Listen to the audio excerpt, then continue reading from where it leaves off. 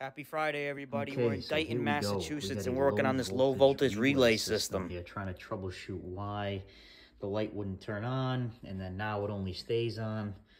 So this is what I found. This relay here. So there's your COM wire there, and there is your 120 volt there for the switch leg on T2. That's the one we're trying to troubleshoot there. So I come down around, and let me see if I can find it again, because it's such a tiny wire that you can barely see it. But yeah, here we go. I find this chilling behind there. So that's the low voltage feed for the 24 volts on the COM wire right here.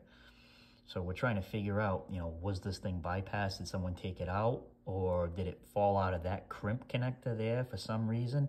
We don't know. So we're going to figure out if maybe the relay was bad. They pulled the wire out so the switch wouldn't work anymore. I don't know. So we're going to find that out.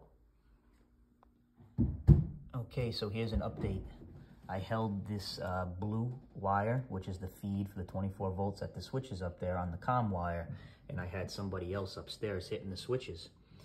Issue is, is it still didn't turn off, right? So what I did was I'd use my, you know, basically what I do with automotive relays sometimes when they go bad is I hit them with a screwdriver.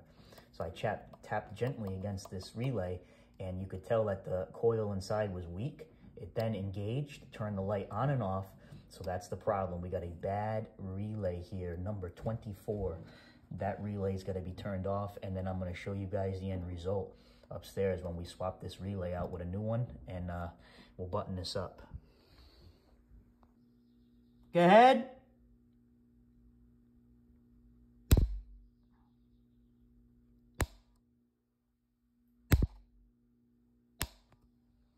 Boom.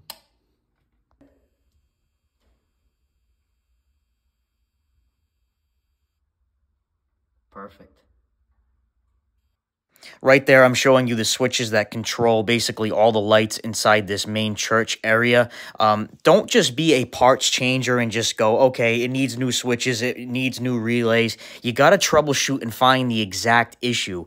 Customers do not want to be paying for a million different parts without any results. So if you guys need any sort of service like this done, give us a call.